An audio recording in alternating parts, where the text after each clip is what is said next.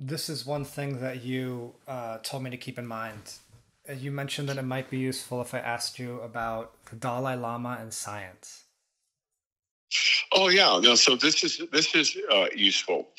So you're you're an attorney, right? And so you know they don't they don't really focus that much on quantum mechanics or on anything like that in your preparation.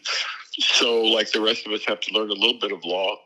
Uh, it's good for people outside the sciences to learn, you know, some basics.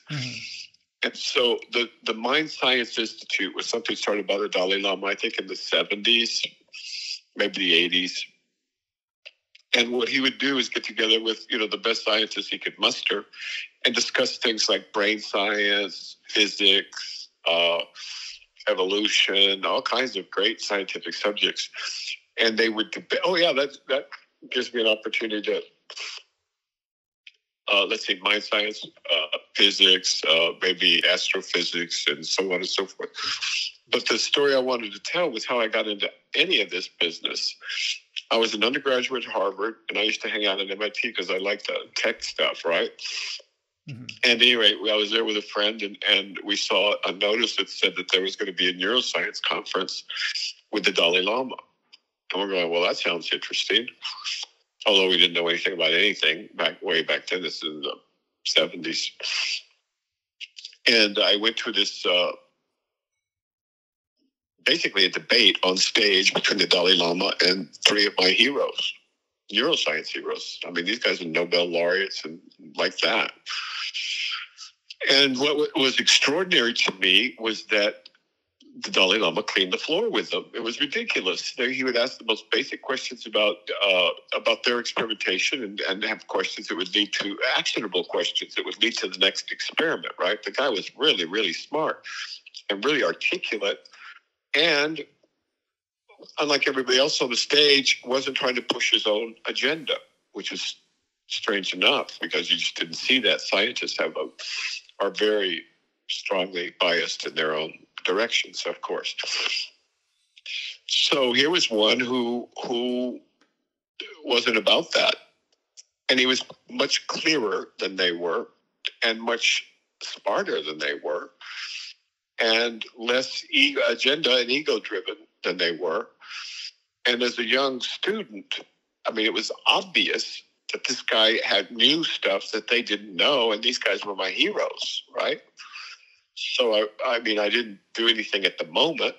You know, I was getting ready for med school and things like that. But, but I remember noting in my own mind, thinking, "Whoa, what is this?" I thought they were supposed to be, you know, you know, Orientals weren't that that smart when it came to science, uh, let alone brain science. But here, this guy was like, literally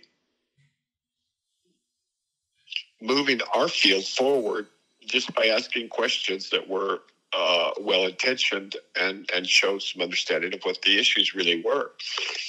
And so I remember that, and and then years later, ten years later, something like that, when the things fell in place for me to go study with him, I remembered that, and that helped. So so I just want to convey that story because I think it's important that people imagine that people in the Dharma are are weak weak minded you know, or weak willed or something's wrong with them. What if they were really smart, they'd be in science. And uh, that's simply not true. So I, I, share that with other folks and ask them to keep an open mind and explore uh, scientific minds and, and the Dharma. And they're going to be they're going to be surprised if they think otherwise. So, and and, and good people on there too, like uh, uh, Claudio Naranjo, I think. Well, I don't know if he was there, but another one, uh, another Spanish guy who basically he and his teacher in, invented the term autopoiesis. Uh, a biologist, uh, Varela, was it Varela? Francisco Varela? Maybe. Anyway, there's a lot of stories like this. Uh, but uh, unfortunately, that scientist died. But the tradition, I think it still continues, and they discuss physics, you know, quantum physics, uh, nuclear physics, every, anything you want to learn about.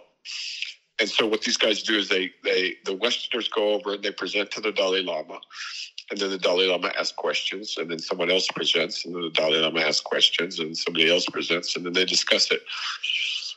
And uh, especially the early ones, in my experience, are really, really good if you need the basics of something like quantum mechanics or something like that. And what is that called? The Mind Science Institute in Dharamsala.